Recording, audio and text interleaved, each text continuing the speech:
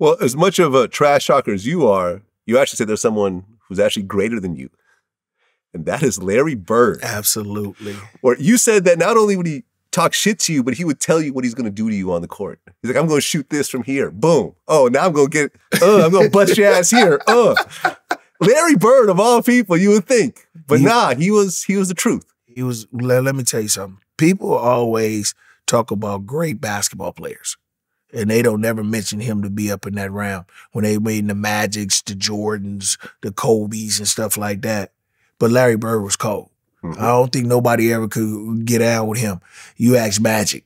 That's why Magic had had a, a run and he was mad when he had to retire in 92 because of what he was going to be missing with Larry Bird. Mm-hmm. And then you remember Larry Bird took two more years and then he quit because he said his main guy who he wanted to play against is gone. You know what I'm oh, saying? Yeah, no, they had video Bird. games, Magic yeah. versus Bird. That was the big. That was the big rivalry. You remember? You remember yeah. when they when Magic went to Larry Bird's town and they made the the, the Pepsi what was it a Pepsi commercial or something like that, and they uh-huh. did all of that. Man, Larry Bird was shooting anywhere. If you think about how many times he won a championship and what he was doing and what he was averaging, people don't understand.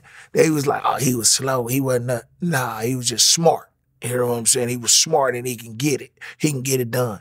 He wasn't MVP all them times and all the All Stars all them times for nothing.